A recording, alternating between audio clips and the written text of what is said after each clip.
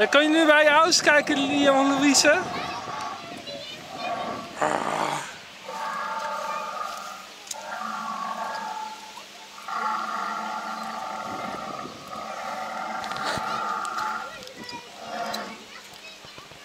Hallo!